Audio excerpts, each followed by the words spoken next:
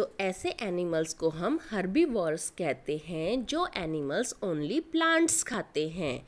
जैसे elephant dears zebra giraffe ये सारे जो जानवर हैं, ये ग्रास खाते हैं लीव्स खाते हैं प्लांट खाते हैं। ओनली प्लांट ईटिंग एनिमल्स को हम हर्बीवर्स कहते हैं।